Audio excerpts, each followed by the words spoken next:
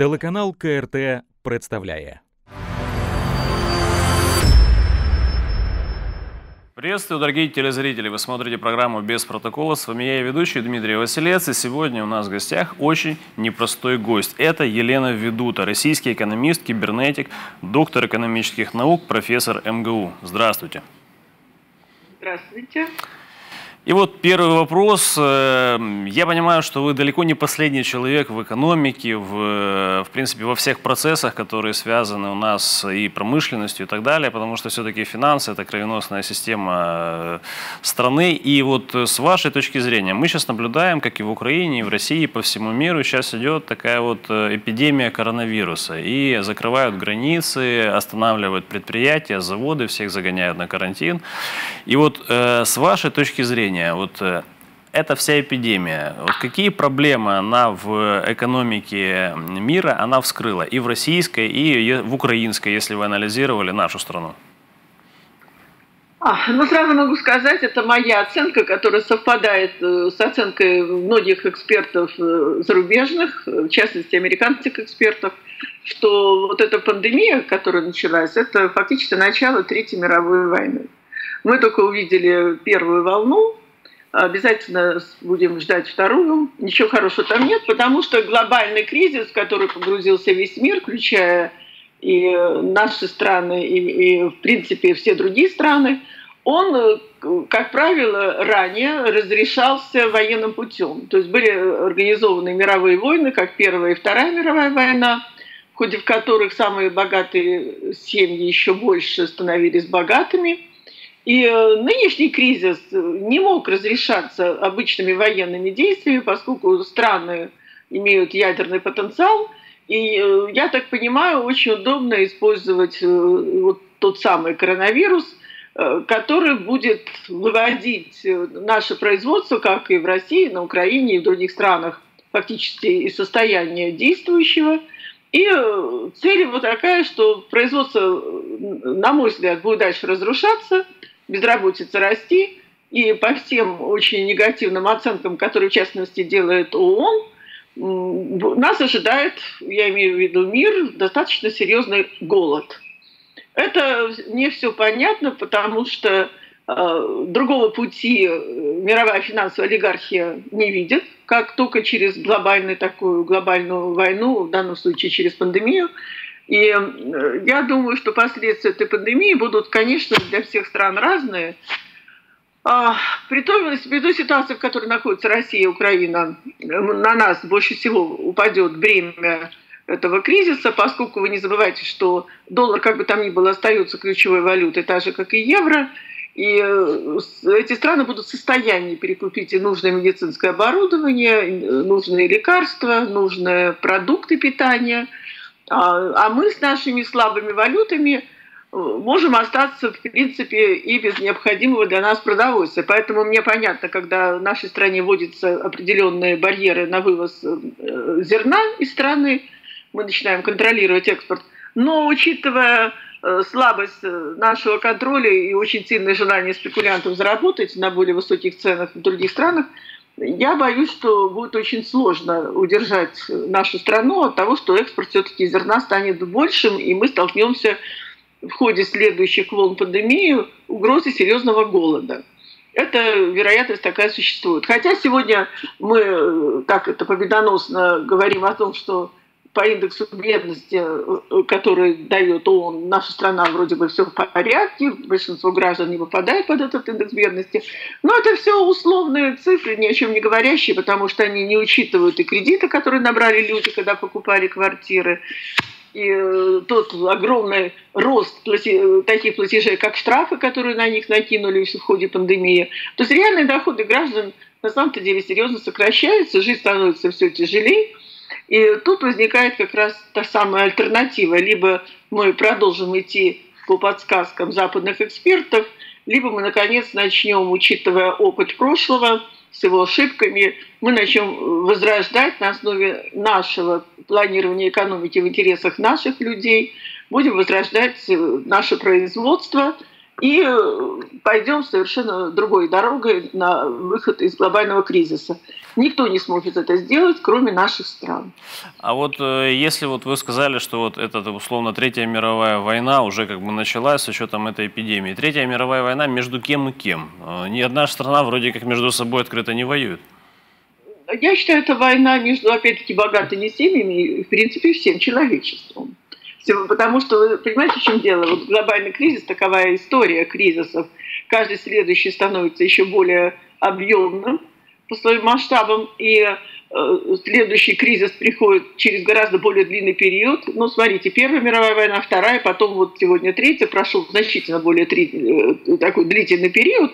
Но издержки э, каждого из этих кризисов, вот таких войн, они становятся все более и более существенны. В настоящее время этот кризис захватил практически весь мир, и э, идет война вот именно такого небольшого количества семей, самых богатых, э, против, я считаю, всего человечества. Вот этим я объясняю те события, которые происходят сегодня в Соединенных Штатах, поскольку вот я ни в коем случае не расистка, у меня много друзей, как называют их афроамериканцы, но тут же понятно, когда многие из них не работали, платили им пособия по безработице для того, чтобы люди деградировали к ним, э, даже опасно было на территорию Нью-Йорка заходить, где живут афроамериканцы.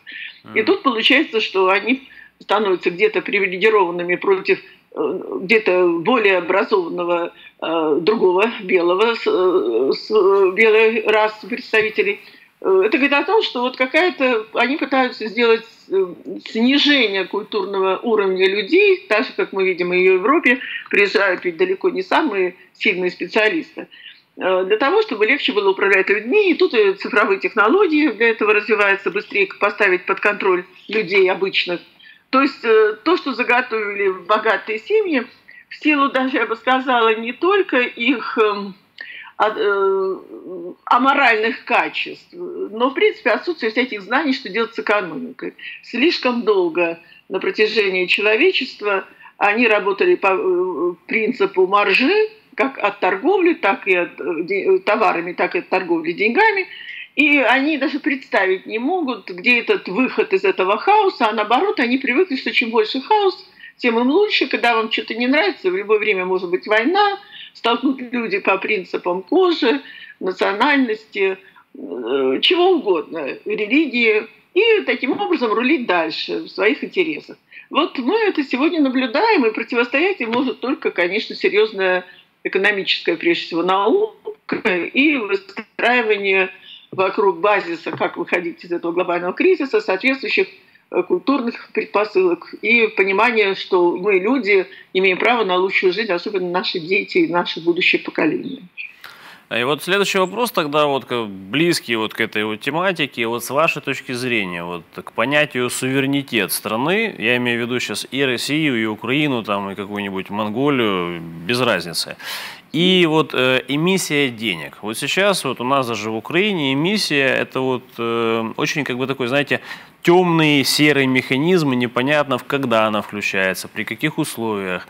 Е ходят слухи, что если вот верить чиновникам из Национального банка Украины, что вот если в золотовалютных запасах наших есть определенное количество валюты, мы, значит, можем в пропорции печатать только гривну на этот счет.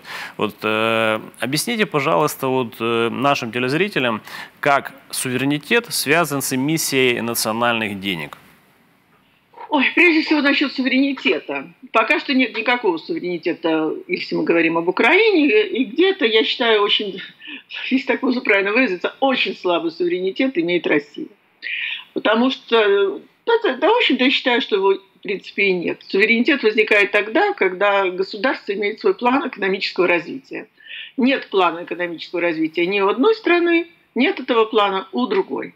Потому что если бы был бы план, нацеленный конечно же, на улучшение жизни людей, то в соответствии с этим планом и определялось то необходимое количество денег, которое должно быть для обслуживания этого плана. А поскольку такого плана нет, то вот э, нужное количество денег уже определяют другие, те, кто имеют свой план развития как Украины, так и России, э, согласно их уже интересам. И этим определяется то количество денег, которое запускает исполнитель тех команд, которые выдают, в частности, МВФ, выпускает соответствующее количество денег. И неважно, под какой критерий. Как правило, этот критерий один – обеспечить стабильность национальной валюты. Поэтому это зависит от того, сколько МВФ пожалует дать кредитов Украине, не даст, соответственно, гривна, гривна должна будет просто резко упасть, потому что она, за ней стоит именно э, обеспечение валюты, как доллар, евро. А если даст, то гривна держится. Но при этом за то, что берет Украина в долг, э, кредит, она будет расплачиваться своими материальными ресурсами, своей землей, э, потери уровня благосостояния граждан. То есть приходится признать, что мы и Украина, и Россия, я тут их не разделяю, мы живем по чужому плану. Э, Причем, что интересно, последнее заседание, которое было в Давосе в феврале 2020 года, э, тот же самый председатель Клаус Шваб, он сказал, что э, наступает время парада национальных суверенитетов и мир должен становиться полицентричным. В частности, пандемия для этого, в общем-то, где-то и присутствует, что э, появляются те самые границы, которые вынуждают страны остаться один на один со своими проблемами, и каждый выбирается как может. Но ни на Украине, ни в России пока нет э, у правительства никаких представлений о том, э, какой должен план развития экономики страны. И отсюда все идут беды. Потому что, конечно, мы можем сказать, что имеется э, такой план антикризисный у правительства, как у любой страны. На самом деле его нет. Знания экономические и там, и там потеряны. Они, на мой взгляд, спустились, в этом случае могу сказать, ниже плинтуса. И надеяться, что такими кадрами, которые мы 30 лет практически выпускали, и можем вытаскивать страну одну и вторую из глобального кризиса, очень э, сложно – не сможем. Надо специально запускать подготовку кадров, понимать, что такое план экономического развития. Но сегодня любого вашего члена правительства, включая там председателя правительства э, Украины, задать ему такой вопрос, как вы видите э, план экономического развития Украины, причем доказательный, потому что слово план вот э, тут часто путают, считают, что если она говорила много слов, то это план. Или нарисую какую-то дорожную карту, какие-то меры, это план. Нет, надо всем напоминать, что план – это алгоритм действий, увязывать э, по исполнителям, по срокам, с тем, чтобы достигать поставленную цель развития. Вот этот алгоритм у них отсутствует, только пустые слова. При этом каждый из э, руководителей может говорить о неких темпах экономического роста, которые ему кажется достигнет к такому-то году, но при этом он не имеет алгоритма действий, то есть, собственно, плана развития экономики, вот исходя из того, где мы находимся, и как нам двигаться, за счет чего, э, куда мы направим наши инвестиции, чтобы действительно достичь те темпы экономического роста. Вот этого плана, как алгоритма действий с доказательством, где мы будем, нет ни у кого. То есть это просто сказки о том, фантазии на тему Просто поговорили, а люди слушают, и их это вполне устраивает, потому что знаний ноль стало в экономике, и отсюда вся беда обоих государств. Это действительно трагедия. Если так будем относиться к экономике пренебрежительно, то вы же понимаете, сколько ни призывай, ни кричи, на каком, какие проекты, программы мы не будем выполнять, и завтра будет жизнь лучше, и во всем виноват сосед – то экономика этого ничего не услышит, она торжественно продолжит свой путь вниз, и каждый раз граждане будут становиться еще более злее, еще более недовольными, и будут опять-таки развлекать сказками о том, что виноват, э, э, ищите тех, кто не сделал вовремя реформы. Но какие реформы? Какой сосед? У вас нет просто плана, нет четкого алгоритма действий, потому что вы в экономике знания имеете ровно ноль, если не ниже. Я это говорю абсолютно спокойно, потому что я могу любому доказать, что знаний ровно ноль.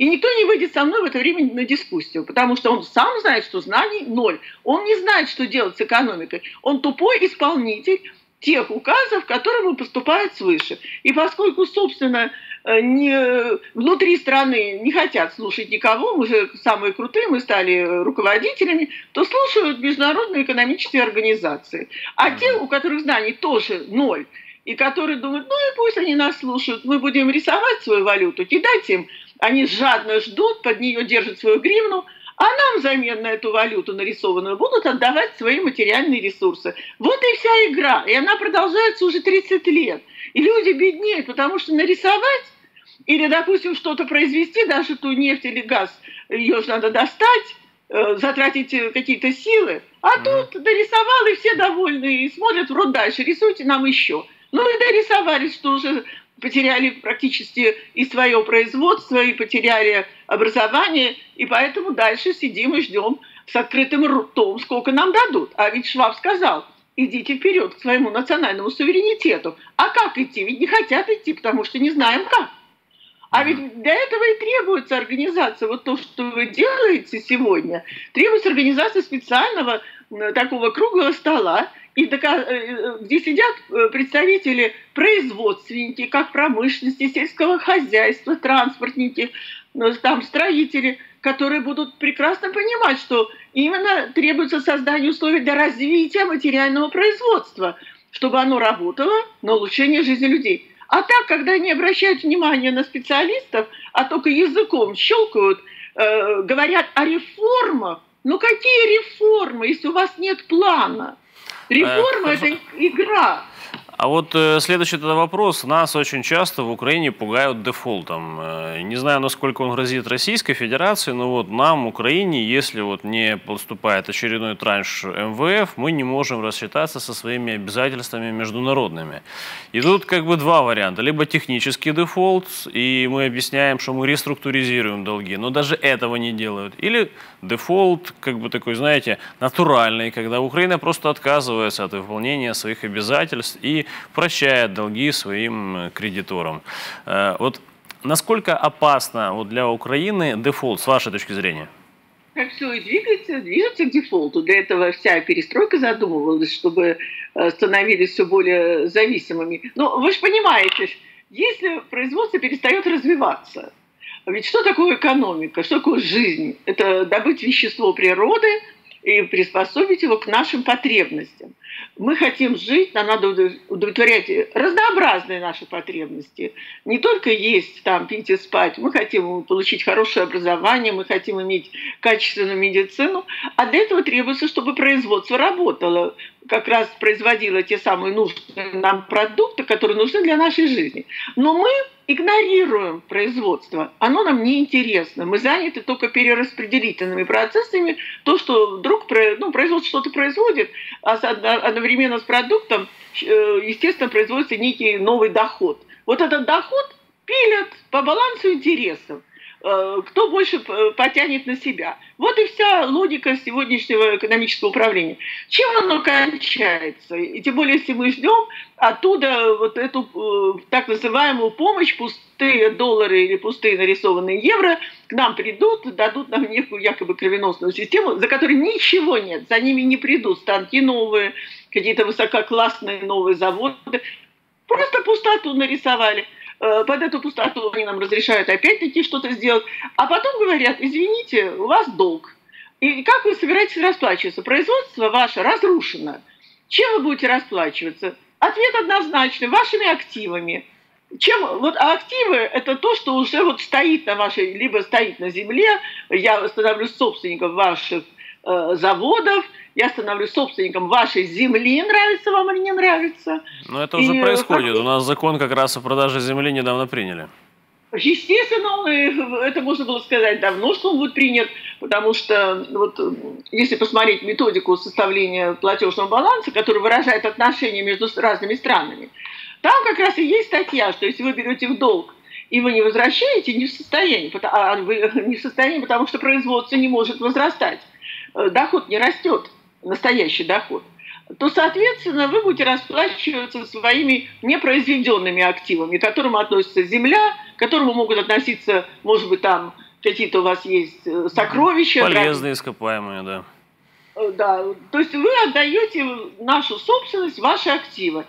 И, по сути дела, раз я это все забираю под себя, кто вы для меня? Вы дешевая рабочая сила. Тем более вы привыкли быть дешевыми. А моя задача – получать все больше прибавочной стоимости от вашей эксплуатации.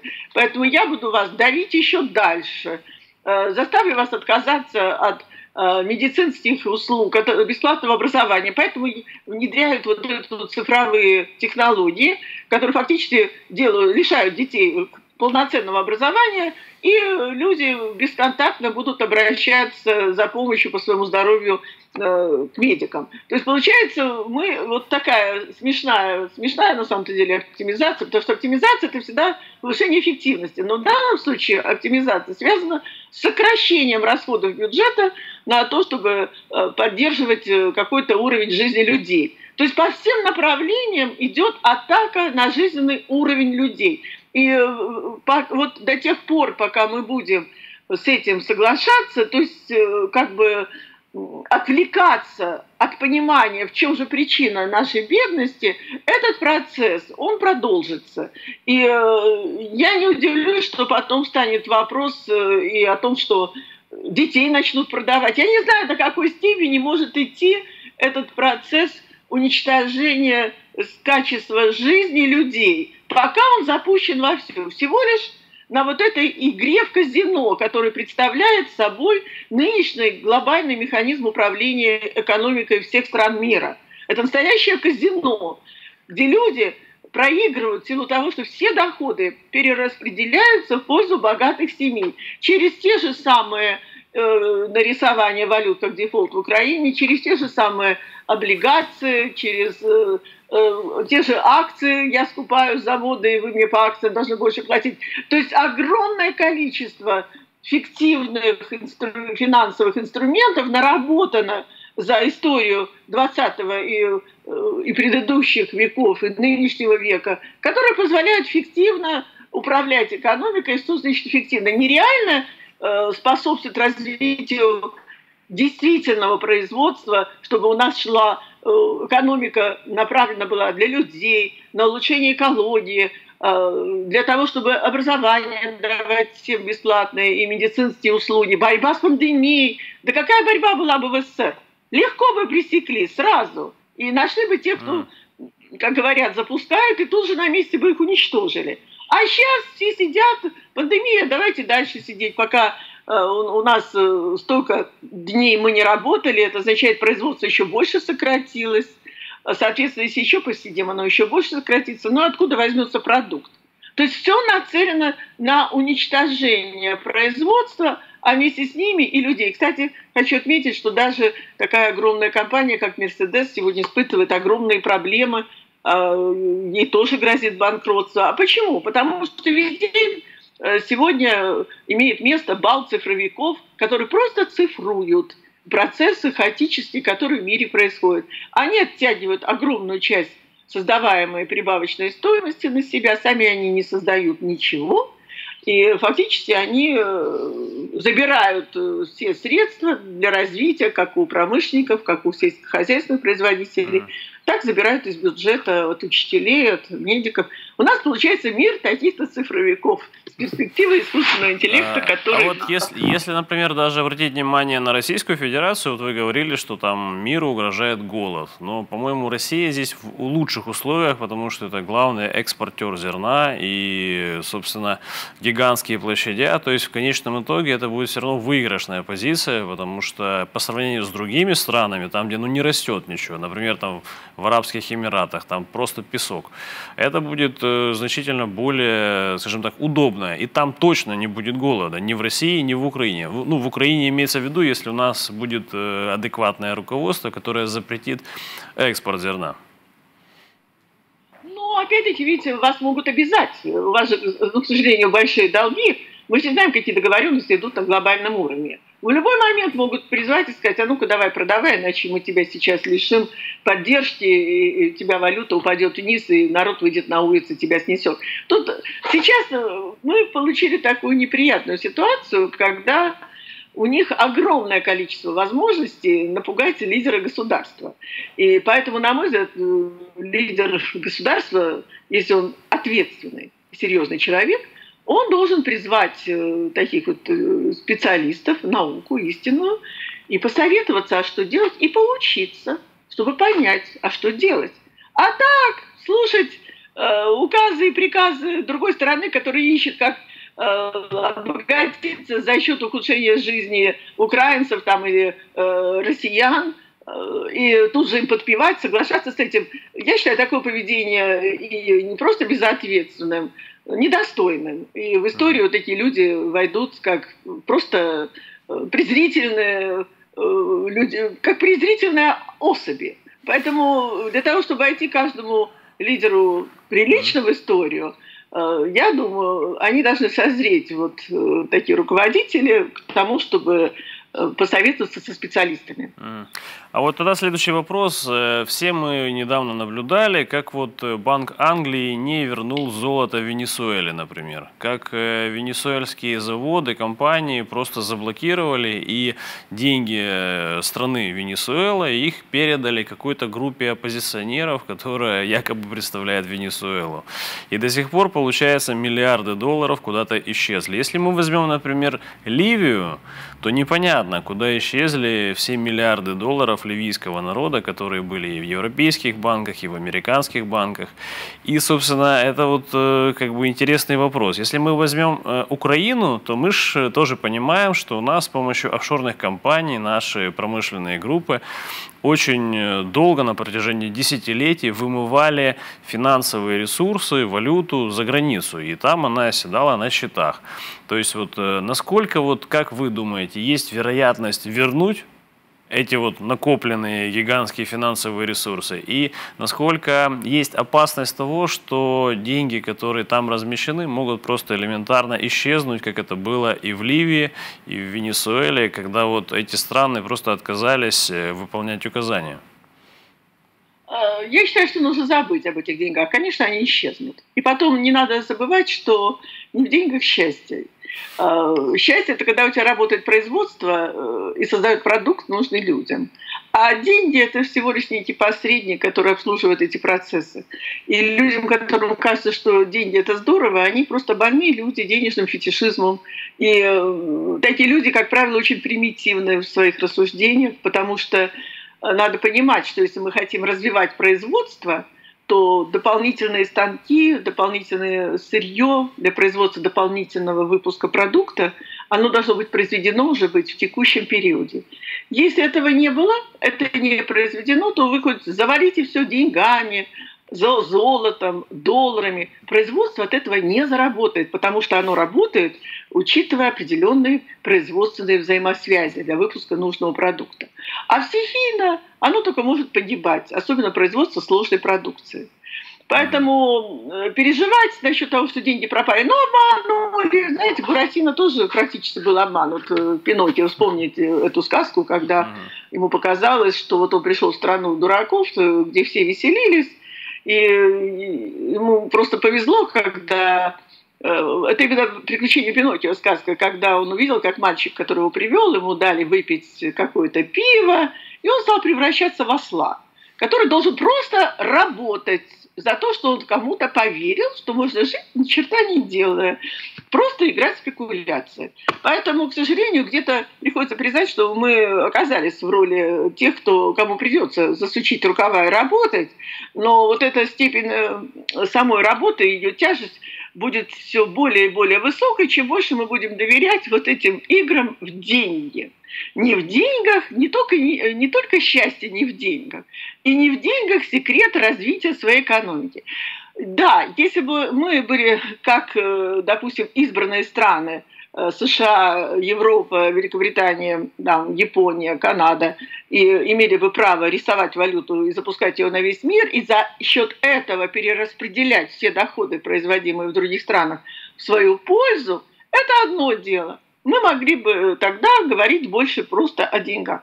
Но когда наши валюты не ключевые, то есть их нарисовать, их никто не будет никакой стране мира принимать, чтобы просто так мы рисуем, а они нам будут отдавать материальные ресурсы, мы должны понимать, что у нас один выход – развивать собственное производство в направлении улучшения жизни людей. Для этого нам нужен план экономического развития. А Без вот... него нам смерть. Это точно. А вот э, тогда логичный вопрос. Э, вы говорите фактически о новой индустриализации.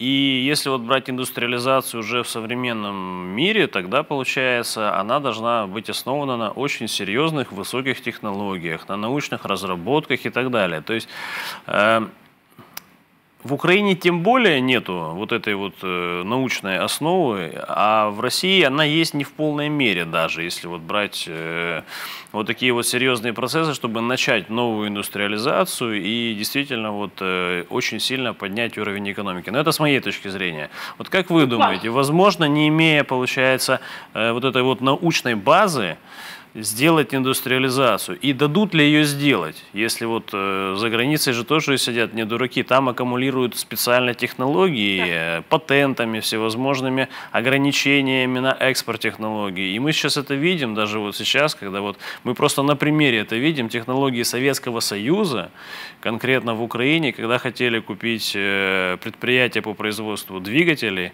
э, Motor Switch, тогда вот э, Америка просто заблокировала покупку предприятия предприятия, чтобы интеллектуальная собственность, разработанная тогда еще в Советском Союзе, не утекла в Китай. Ну, то есть как бы идет на самом деле такая война за технологии и за вот технологическое преимущество для того, чтобы саккумулировать максимально технологии и не дать оппоненту развиваться. Вы все правильно говорите. С их точки зрения, именно в этом они видят свое будущее, что они смогут перетащить самые передовые технологии и за счет этого дальше быть лидерами мира. А, кстати, в ходе вот этих волн пандемии, естественно, они стремятся установить новый баланс государств, баланс лидеров, куда, естественно, при том, что происходит на Украине и в России, эти страны не попадут. Но тем не менее, вот э, в чем ошибка тех, кто надеется, что за счет новых технологий они выскочат вперед? Естественно, они будут выскакивать только по, по отношению к тем странам, как наши, которые ничем не занимаются, продолжают, открыв рот, ждать э, нарисованные валюты. Эти, конечно, за счет этих стран они будут идти вперед. Но, с другой стороны, э, с точки зрения роста уровня жизни в этих странах, у них тоже не получится. Потому что развивая передовые технологии, это не значит, что эти технологии заработают на улучшение жизни людей. Более того, они заработают на рост безработицы, и они будут надеяться, что будут людям, которых будут выкидывать на улицу, причем в массовом порядке, они будут платить им некий бот, такой э, какой-то денежный доход, позволяющий им выживать. Но вы мне извините, что это будет за жизнь, когда люди будут просто получать пособие и больше ничего. Это зачем жизнь такая людям, которые хотят себя реализовать как личности, э, в процессе некой трудовой деятельности. Поэтому то, что они говорят, на самом деле, знаете, в чем проблема? Индустриализация как таковая, она была первая в конце XVIII века, когда появились первые машины, и вместе с машинами пришел капитализм как более эффективный строй по сравнению с феодализмом. Это была первая промышленная революция, а, когда правящему классу стало понятно, что им не нужны крепостные, гораздо более продуктивно иметь свободный рынок труда, где они будут э, покупать рабочую силу и выжимать благодаря Э, высокая эксплуатация, которая дает возможность машины создавать дополнительный прибавочный продукт. И поэтому э, поменялся и строй. Феодализм сменился на капитализм вместе с приходом вот этой первой индустриализации. Что же касается сегодня, никакая индустриализация уже не поможет. Машина как таковая свою роль сыграла при переходе от феодализма к капитализму. Сегодня идет речь о второй промышленной революции, именно второй – которая должна быть связана со, э, с изменением э, социального строя. И э, выход из глобального кризиса сегодня невозможен ни для кого, если мы будем надеяться просто на каких-то новых роботов, какие-то технические внедрения. Здесь уже вопрос стоит, вот именно вот этот глобальный кризис, мирный выход, предполагает координацию деятельности производителей, крупных производителей, для того, чтобы они гармонично э, способствовали выпуску продукта, нужного людям. Это то же самое, если мы хотим, чтобы самолет взлетел, нам нужно пропорционально создать все его необходимые части, и только тогда вместе, когда это все в правильных пропорциях, он взлетит. Так вот, э, это очень сложная проблема, планирование, координации взаимосвязи производителей в нужном направлении. И вручную уже даже мечтать о том, что это можно сделать, это невозможно. Э, даже Советский Союз, э, он же уже поплыл, что он не мог план перевести на автоматизированную основу. И вот эта задача перевода управления экономикой на автоматизацию – причем на, должна быть в основе лежать соответствующее программное обеспечение, основанное на экономико-математической модели, работающей э, в интересах роста уровня благосостояния граждан – вот только в этом случае возможен выход из нынешнего глобального кризиса. Все остальное могут делать что угодно, глобальный кризис продолжится, и, конечно, если мы, Украина и Россия, продолжим наше поведение такое, как сегодня мы имеем, то наши страны просто исчезнут с карты Земли, потому что бремя глобального кризиса, пока тот мир будет искать выход, они переложат на вот эти страны. Выход только один – переход на автоматизацию управления экономикой, в основе которого будет лежать такая динамическая модель межосевого баланса, которая представляет собой систему алгоритмов выстраивания производственных связей в режиме реального времени с обратной связью, то есть чисто кибернетическая модель управления экономикой. В этом и смысл данной вот революции, которая сегодня началась, она будет продолжаться до тех пор, вообще в принципе глобальный кризис будет продолжаться до тех пор, пока мир постепенно не перейдет на новую систему управления экономикой, которая и даст э, рост общественной производительности труда. Все остальное, новые технологии как таковые, они не встраиваются в существующие цепочки, они не способны дать полную занятость, которая необходима они не способны, обратите внимание, спасать экологию, она будет только ухудшаться, потому что каждый работает на собственный мотив прибыль, не интересуется другими, и без вот такого, а, без такой солидарности, а, без э, такой гармоничной деятельности всех крупных производителей мир продолжит свое падение вниз. Но я бы рекомендовала Украине и России – Белоруссии, вообще странам СНГ, как можно скорее переходить на новый механизм управления экономикой, уже на новой, принципиально новой кибернетической основе. И более того, я хочу сказать, именно вот такой план, он и есть цифровая технология, единственная, которая в мире конструирует лучшее будущее для людей. Все остальные цифровые технологии нацелены на то, чтобы мир двигался в сторону крепостного, по сути дела, права, дальше к рабству и вообще к тотальному хаосу, как это было в первобытном строе. Недаром и говорят, я не знаю, насколько это правда или нет, что цивилизация уже не первый раз живет. Вот. Ну и нашим странам для того, чтобы поскольку угроза исчезновения очень высока, надо быстрее скоординировать наши действия для того, чтобы переходить на новую цифровую технологию конструирования будущего или, да, слушаю внимательно. Вопрос. А с вашей точки зрения, какая вот сейчас э, в мире страна ближе всего к э, достижению вот как раз вот этой автоматизированной системы управления экономикой? Китай или Соединенные Штаты Америки или какая? Как ни странно, Китай пока тоже не, э, не, выставляет, не выражает такой интерес – я вам хочу сказать, э, в Китае ничего хорошего не будет происходить. Там будет настоящий хороший глобальный кризис, поэтому они поспешили так с цифровыми технологиями. У них давно планирование экономики с обратной связью, как это было именно э, в курсе индустриализации Сталина. Это же была действительно создана кибернетическая технология впервые в мире – когда верх не просто что-то желает, а он просчитывает все производственные цепочки, все связи производителей, чтобы действительно этот продукт, вот этот темп просто индустриализации был достигнут. Э, такого планирования экономики ну, больше и нет. И благодаря ему мы смогли восстановить нашу экономику страны, стать страной биполярного мира. А затем, конечно, где-то в 50-х годах пошла подмена и в частности подмена вот этой задачи, которую, с одной стороны, страна поставила, как внедрить ЭВМ в процессы планирования и управления экономикой, э, и поставила задачу создать соответствующую экономико-математическую модель для этого.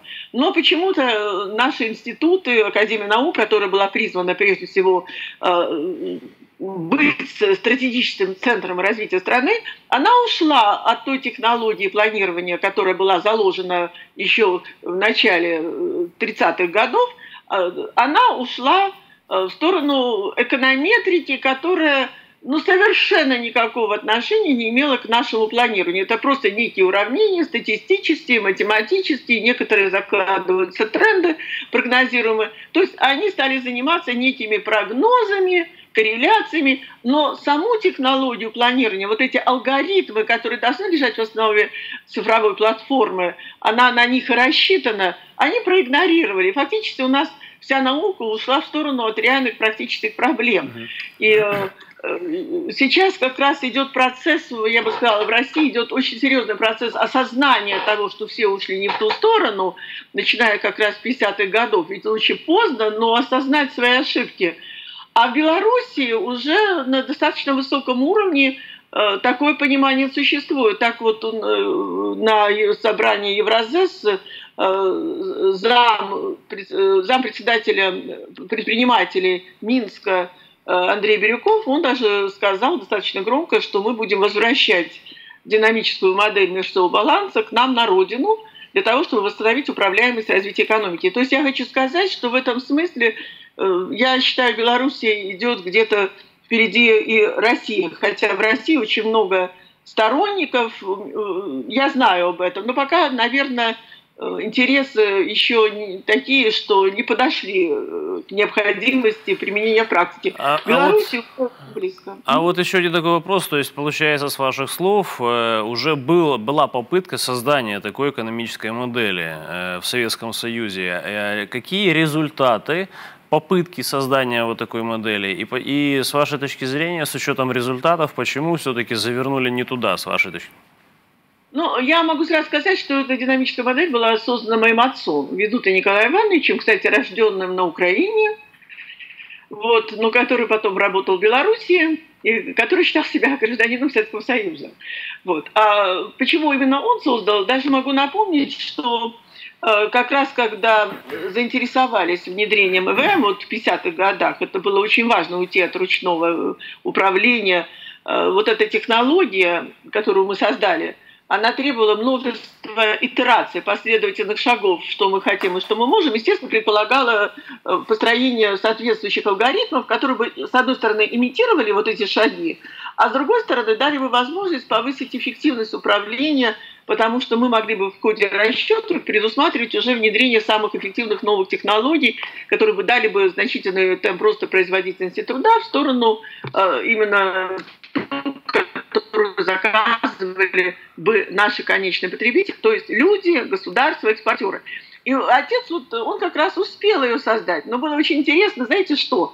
Что разрушение, собственно, э, нашей э, практики социализма, почему большой интерес сегодня вызывает э, мой подход, вот читают мои статьи в Великобритании, в Соединенных Штатах, разрушение стало происходить в середине 50-х годов, когда первым делом пришла на смену теории э, Маркса, по сути дела, теория товарного социализма, товарного производства при социализме. Это была порочная теория, которая, это в ходе дискуссии ее установили, что якобы наши предприятия тоже должны ориентироваться на прибыль.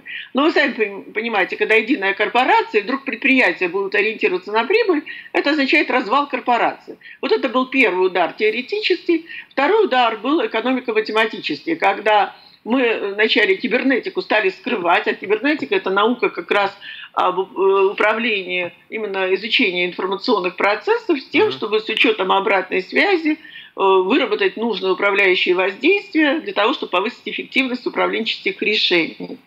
И вот мы ее естественно, с помощью передовых достижений э, новой техники компьютеров. А мы долго ее блокировали, потом она появилась секретно, где-то в Министерстве обороны, появилась статья Китова, Липунова и еще одного товарища, которые э, доказывали, что на самом деле кибернетика не лженаука. И по предложению Китова дальше как раз именно Киев являлся инициатором было такое предложение создать общегосударственную автоматизированную систему управления экономикой, которая бы позволила использовать преимущества ВМ в расчетах плана. Кстати, хочу отметить, что в это время на Западе вместе с кибернетикой появилось очень много э, таких вот э, центров, э, мозговых центров, think которые, наоборот, думали, как использовать им вычислительную сеть, создать ее, чтобы через информацию управлять людьми. То есть абсолютно два разных направления. Мы хотели управлять экономикой для людей, они хотели управлять людьми для самых богатых семей. И вот дальше получилось то, что, опять-таки, э, академик Глушков, он, видимо, посчитал, что если я специалист в технической кибернетике, то одновременно являюсь и очень сильным экономистом, он не смог дать железу программного обеспечения, которое то железо должно было бы считать. И поэтому как бы к нему Москва, наши экономисты относились очень таким недоброжелательно. И по идее Москва э, создает лабораторию математических методов анализа экономики во главе с академиком Немчиновым, который должен был направить исследования в Москве Э, в помощь созданию вот этой экономико-математической модели, которую Я дала бы нам. Э, да. И вот с учетом того, что несколько минут буквально осталось до конца программы, хотел бы еще очень важный вопрос задать. Э, если... Василий, я только договорю. Третий институт, третья столица, mm-hmm. Минск, вот они создали эту модель. Я просто хочу сказать, они как-то вышли неожиданно впереди всех по созданию динамической модели. Отец стал директором института, который тоже создали mm. в то же время, и модель появилась. Она есть. Я понял. Но тогда в Советском Союзе была попытка создания, и тогда был другой строй. А с вашей точки зрения, возможно ли при капиталистическом э, строительстве в экономике э, развить вот эти модели, про которые вы говорите? Вы знаете, это вопрос выживания, в принципе, страны. Я могу сказать, и в том числе даже э, пришедшие так называемые элиты – поскольку элита там никому не нужна, я могу сразу сказать, у них все заберут, и собственность, и деньги. Сейчас время наступает именно парада национальных суверенитетов, и элите придется задуматься над тем, как внедрять механизм управления экономикой, чтобы выживать народу, выживать странам. Они неизбежно придут, и чем раньше они придут, тем будет лучше. А что касается восстановления справедливости, это вопрос уже социальной активности людей. Э, рано или поздно она тоже восторжествуют. Но первым делом нам необходимо восстановить управляемость развития экономики. Кроме наших стран, никто в мире этого сделать не может, потому что у них не было, в принципе, управления в интересах экономики, в интересах людей. За нами очень большая ответственность не только как перед нашими странами, но и перед всем миром. Потому что никто, те могут выживать пока только за счет уничтожения стран, таких как мы. Поэтому мы должны дать миру пример – и мир пойдет, социализм, он придет, он объективно идет, вторая промышленная революция закончится социализмом. Вопрос, будем ли мы в этом социализме жить? Очень бы хотелось, чтобы мы были локомотивами. Спасибо большое, что уделили время и все-таки пришли к нам в программу. С нами была Елена Ведуда, российский экономист, кибернетик, доктор экономических наук, профессор МГУ. Это была программа «Без протокола». С вами был я, и ведущий Дмитрий Василец. До скорого.